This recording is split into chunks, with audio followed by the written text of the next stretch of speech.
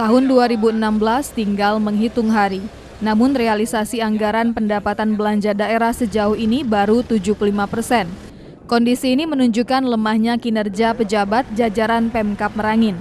Namun Kepala Badan Pengelolaan Keuangan Daerah Amir Ahmad tidak mau disebut kinerja lemah dengan alasan adanya berbagai persoalan dan hambatan. Masih jauhnya dari realisasi 100% menurut Amir lantaran adanya penundaan dari pemerintah pusat sehingga menyebabkan banyak pengerjaan di SKPD mengalami keterlambatan. Melihat kondisi waktu yang hanya menghitung hari, Amir memastikan tidak akan tercapai 100 persen. Namun dirinya minta SKPD yang masih dalam pengerjaan mengebut pekerjaannya agar tidak terjadi keterlambatan. Anggaran uh, khususnya untuk belanja modal sampai dengan hari ini itu sudah 75 persen. Sedangkan untuk belanja wajib SKPD sampai dengan hari ini itu baru mencapai 70 persen. Lut Cambi TV.